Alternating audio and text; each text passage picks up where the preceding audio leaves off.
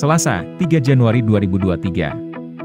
Pemerintah Kabupaten Sukabumi memperingati upacara Hari Amal Bakti, HAB, Kementerian Agama RI ke-77, tahun 2023, yang mengusung tema, Kerukunan Umat untuk Indonesia Hebat, yang diselenggarakan di lapangan Cangeger Palabuhan Ratu, Kabupaten Sukabumi.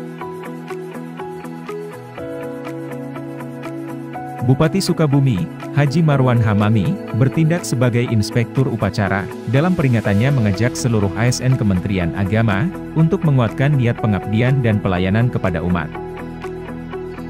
Pada hari peringatan ke-77 tahun ini, merupakan penanda sejarah panjang pengabdian Kementerian Agama, dalam melayani seluruh umat beragama di Kabupaten Sukabumi. Beliau turut mengapresiasi aplikasi Pusaka Super Apps, atau aplikasi layanan Kementerian Agama, upaya meningkatkan kualitas dan mendekatkan layanan kepada masyarakat. Lebih lanjut, Bupati Sukabumi juga berpesan kepada Kementerian Agama, agar bisa lebih memberikan satu dorongan dalam mengejar salah satu visi Kabupaten Sukabumi yang religius. Dan yang terpenting bisa mengedukasi seluruh masyarakat, khususnya tentang keagamaan bisa diterapkan secara penuh.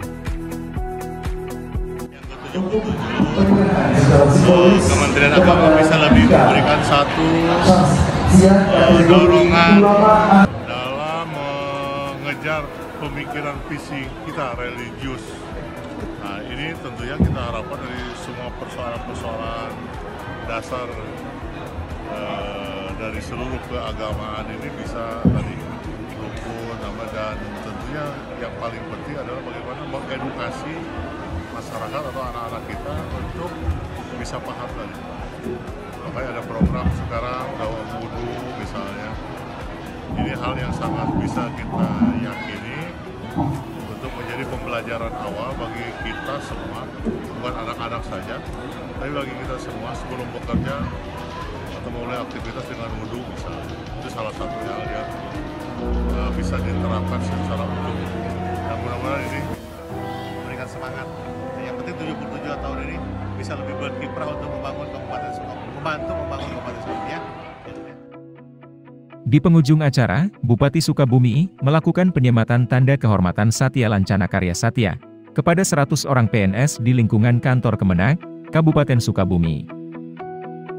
Upacara ini dihadiri oleh para ASN Kementerian Agama, tokoh agama, Setuan Kabupaten Sukabumi, jajaran Porkopinda Kabupaten Sukabumi dan tamu undangan lainnya.